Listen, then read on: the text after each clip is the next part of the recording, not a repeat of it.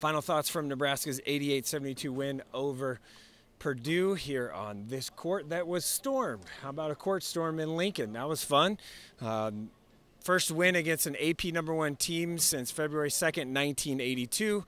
First win over a number one team in Lincoln since December 12th, 1964 pretty fun environment to be in. Wasn't a full house, but the crowd was electric and alive the entire game.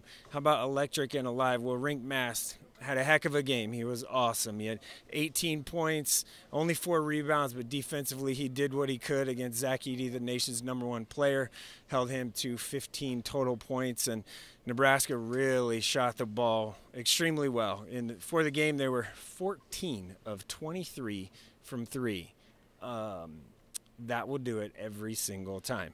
There were also 29 of 57 from the field and 16 of 19 for 84% from uh, the the charity stripe.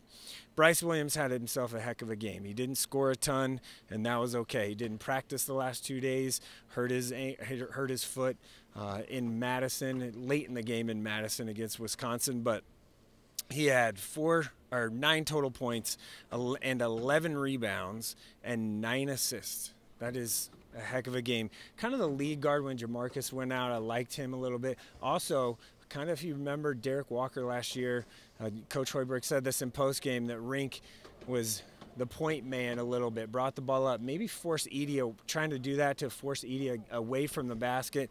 Speaking of Rienk Mast again, he was two of five from three, such a threat. The two threes were big, especially the first one of the game.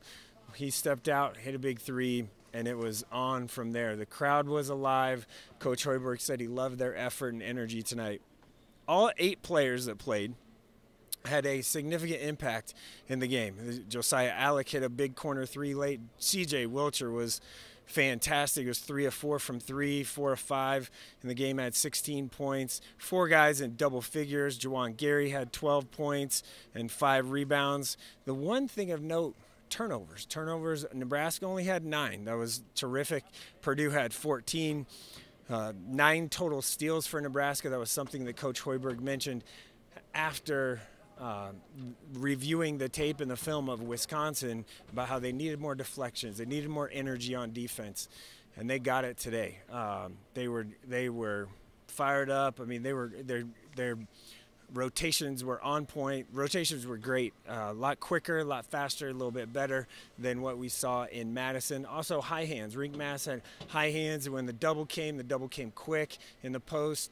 Purdue didn't wasn't able to drop anyone to the front of the rim double flood it, um, do all those things that, that uh, we, we saw Wisconsin do and Indiana do against Nebraska. So the defensive adjustment was huge. Um, great game in Lincoln. That's about all I can say. Quick turnaround. Coach Hoiberg said at the beginning of, or toward, in the middle of the press conference here that you know you got to celebrate this win tonight and flush it, kind of move on, Nebraska travels to Iowa on Friday in another big game. So you got to find a way to win on the road in the league. It's really hard to do. Obviously, Purdue's two losses on the road, Northwestern, and here in Lincoln tonight. So Nebraska plays next in Iowa City Friday night, late game, late tip, 8:30 p.m. because Iowa Nebraska wrestling is at 6:30, both on BTN.